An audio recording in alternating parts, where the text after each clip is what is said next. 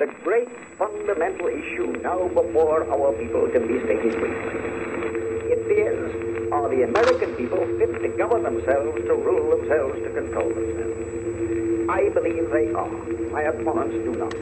I believe in the right of the people to rule. I believe that the majority of the plain people of the United States will, day in and day out, make fewer mistakes in governing themselves than any smaller class or body of men, no matter what their training, will make in trying to govern them. I believe again that the American people are, as a whole, capable of self-control and of learning by their mistakes. Our opponents fail, opponents fail, but they show their real by the way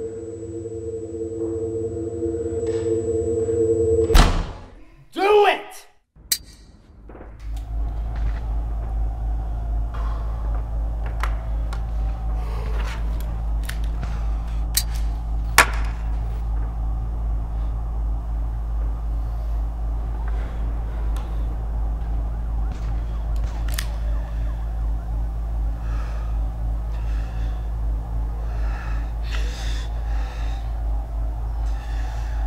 You need to hurry up.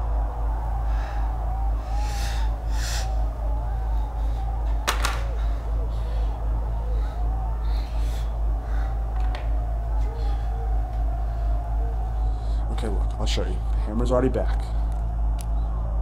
It's your temple. You pull the trigger. Okay. Take the hammer back. Put it to your temple.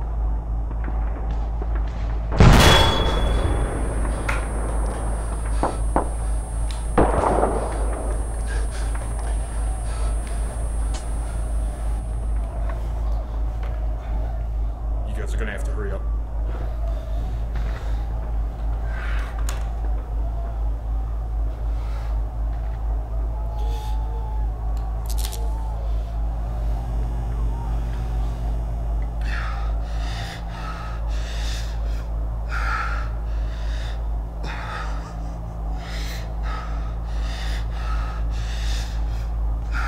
Okay, someone needs to die. So just shoot me. Shoot me.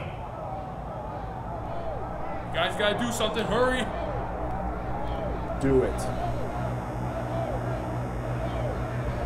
They're in the building, they're trying to get in the building! Pull the trigger. Fucking do it!